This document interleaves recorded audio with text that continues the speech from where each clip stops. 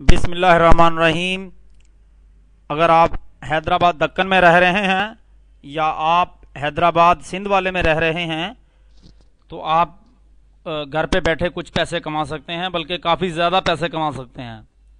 सिर्फ़ आप हमारी वेबसाइट पर आइए और बहुत कुछ जानिए।